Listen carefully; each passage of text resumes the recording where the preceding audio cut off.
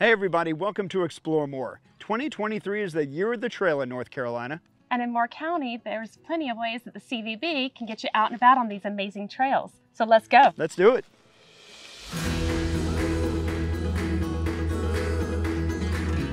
Get ready everyone, the Pinecone Pathways program is coming to Moore County. Imagine walking a cool trail like right here at Southern Pines Reservoir and looking and searching and finding a pine cone.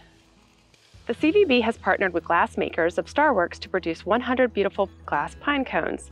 Professional glass makers created these unique, fun, one-of-a-kind pieces in their studios located in Star. The only place you can find them is to explore trails as part of the Pinecone Pathways program.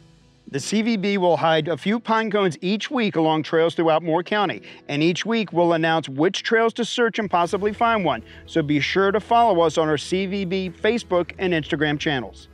When you find one of the pine cones, you will see a card attached to it with a QR code. Simply scan the QR code and register your cone.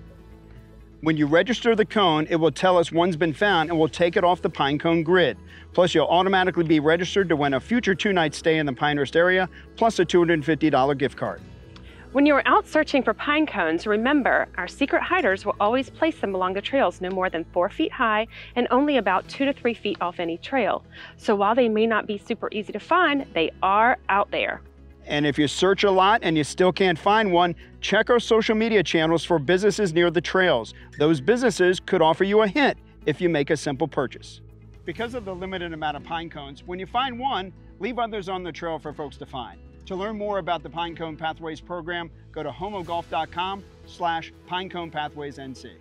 And the program runs for 10 weeks, so all the way through Memorial Day. Thank you for supporting the Year of the Trail in North Carolina and Moore County.